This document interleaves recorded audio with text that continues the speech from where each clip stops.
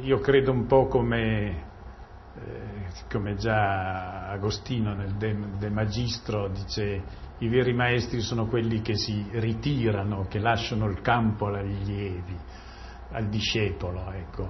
Il maestro è proprio quello che eh, si ritira e lascia eh, che il giovane eh, si sviluppi.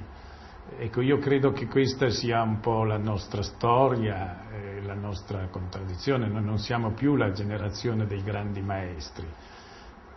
Credo che invece proprio nel nostro lasciar, lasciar fare, lasciar divenire, un aprire un processo storico e non chiuderlo, non rompere nelle epoche, non fare delle cesure e avere questa continuità tra giovani e anziani, credo che sia un aspetto nuovo ecco, di, di, del nostro modo di pensare e ci credo abbastanza di questo, essere, questo contemporaneamente essere maestri ma anche venirne meno, ecco, questa assenza.